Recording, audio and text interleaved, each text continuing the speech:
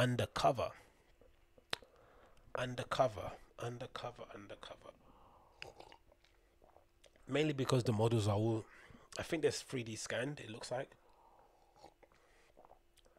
they're um, computer generated. It looks like um, so that's pretty cool.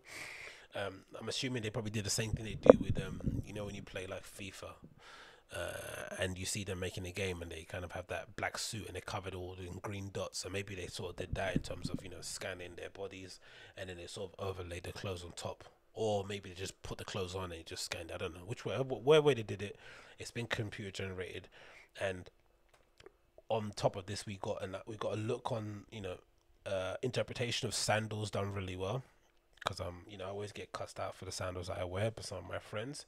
But I think they did the sandals really cool in this. And then we've also got the introduction or the reveal of a new Nike collaboration that I think has dropped already. I think news is released out of this. So this is a new Nike collaboration um, that they've got in place. Kind of looks a bit similar to the Mars Yard model. That looks really cool. But one of my interesting places or pieces that I thought was interesting in the collection was this see if I can find it. It was a look here that reminded me of the golden era of Hedi Slimane at Saint Laurent.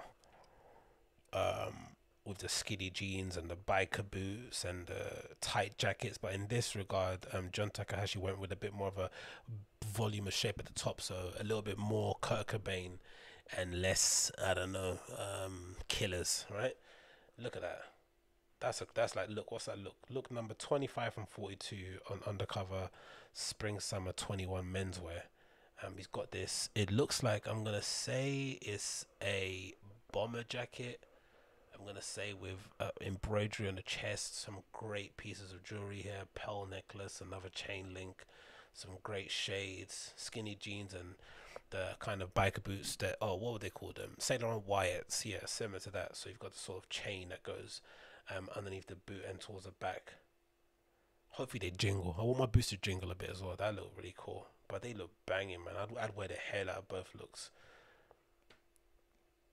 And then the same with this look, number 26. You've got a nice little overshirt here. Vibe with a dog collar chain. Painted nails look sick again with the boots and the cuffed. It looks like cuffed hems on the jeans as well. Great little detail there just in general. And again, look at that look, number 27. That is me head to toe, mate. That is me. Madness. Such a good look, man. I love the pearl necklace too. That's a good little addition. Don't know what it says down the jacket, but yeah.